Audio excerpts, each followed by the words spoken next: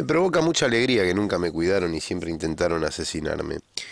Eh, mientras a otros personajes los tratan entre algodones, ¿no? Y siempre les están, siempre están viendo cómo hacer para afanarme una nueva obra para darle el dinero a, a esos otros personajes para que puedan vivir como altos burgueses y demás mientras a mí me generan deudas colosales.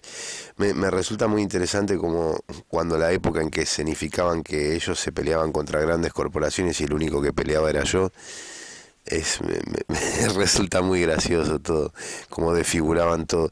He sido muy feliz todos estos años, por eso Vicky, eh, te recuerdo y te agradezco los años de felicidad y de coherencia a vos y a todo el escenario político.